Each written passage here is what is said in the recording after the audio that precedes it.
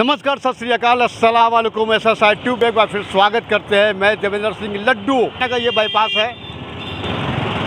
बिहार के ज़िले हैं। उन ज़िलों के बसें मिलता है बैरिया बस स्टैंड।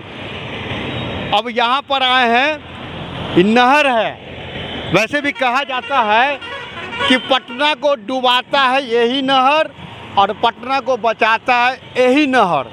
अगर इसको साफ़ सफ़ाई नहीं करे तो पूरा पटना डूब जाएगा। अब कहने का मतलब ये है, कुछ ही दिनों बाद मानसून दस्तक देने वाली है। अगर ये सफ़ाई ढंग से अगर नहीं हो तो फिर भगवान भरोसे हो जाएगा पटना को बचाने के लिए।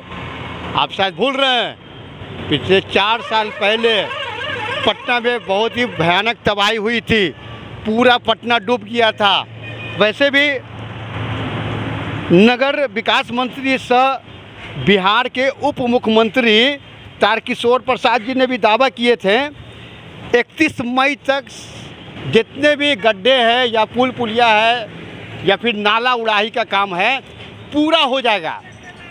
यहाँ पर तमाम यहाँ पर वर्कर लगे हुए हैं। हम कचरा अभी निकाला जा रहा है, लेकिन अंदर का मलबा अभी जस के तस है। यहाँ कुछ शराब की बोतलें भी है, मिली है, खाली है। वैसे शराब बिहार में प्रतिबंध है। चोरी छिपे पीने वाला फिर अक्सर इसमें डाल देते हैं। ये भी इकट्ठा हुआ है। अच्छे ब्रांडेड का है शराब है। यहाँ का दृश्य आपको दिखलाता है कि ये नहर पूरा पटना का पानी, जो भी गंदा पानी रहता है, रोज़मर्रा की ज़िंदगी जो यूज़ करते हैं घर में, उसका पानी इसी नहर में आता है। तो तो मानसून आने में देर नहीं है। आने के बाद ये पूरा लबालब हो जाएगा पूरा पटना डूब जाएगा। यहाँ के जो वर्कर हैं इनसे भी कुछ जानकारी ले। का नाम बोलवा चाचा आपका? राजपाल महतो। राजपाल महतो जी कब से सफ़ाई कर रहे हैं यहाँ पे? दो महीना से कर रहे हैं। अब अभी तक जस के तस से है ना? नहीं रोज आता है रोज सफ़ाई होता है। तो कचरा जस के तस से है। जे दह के आता है जेके छानते हैं। अच्छा अच्छा जो छलाया हुआ रहता है। हाँ। और अंदर में जो मलबा जो दबा है वो वो सब तो कचरा भीतर कादो है ही है। तब तो फिर भर जाएगा पानी बरसेगा तो हाँ। पानी तो अब आएगा तो तो भर जाएगा तो ऊपर से है छला के निकल रहा है। जितना आवेगा दह के जगह सबके छानना है। है ना? और नीचे का मलबा जो तो दबी किया है। वो तो दबले है। तो खतरनाक हो जाएगा फिर। जी। चलिए, बहुत बहुत धन्यवाद। दो महीना से ये लोग छान रहे हैं। यहाँ पर छान छान के यहाँ पर जो भी कचरा जो देख रहे हैं, इकट्ठा कर रहे हैं।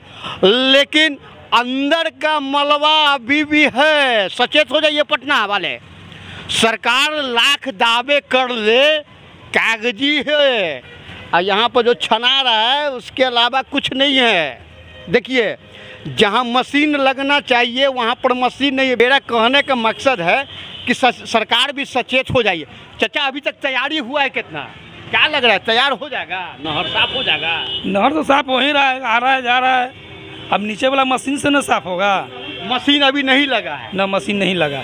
चलिए मशीन अभी नहीं लगा है। सुन लीजिए भाई मशीन अभी नहीं लगा है। अब कब लगेगा? जब मानसून जब आ जाएगा तब लगेगा कि मशीन से निकालेगा। और फिर पानी जमा होगा तो फिर नाले में घुसेगा।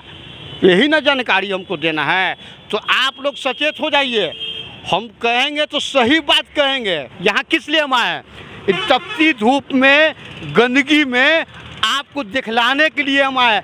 यही छलाया हुआ कचरा प्रतिदिन निकल रहा है। गौर से देखिएगा, इस कचरा में है क्या? कुछ नहीं है। प्लेट है, पत्ता है, प्लास्टिक का बोतल है, डब्बा है और शराब का बोतल है और कुछ नहीं है। तो सरकार से रिक्वेस्ट करेंगे।